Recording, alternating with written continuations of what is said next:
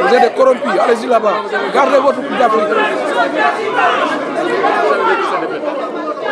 Ouais, mais tout le, monde, tout le monde a vu. Tout le monde a vu. Tu ne peux pas décider de, du sort de tout un pays comme ça. Ça, c'est incompréhensible. Moi, je ne peux pas. Mais bien sûr, si là, tu vas aller regarder la VAR pour leur donner un penalty, un gars qui prend le ballon 40 mètres et fait un chevauché, il rentre dans la surface, il est devant, et tu ne veux, tu veux pas aller regarder la VAR. Je suis désolé, mais là, là c'est abusé. Je suis vraiment désolé, mais là, ils ont tué notre compétition.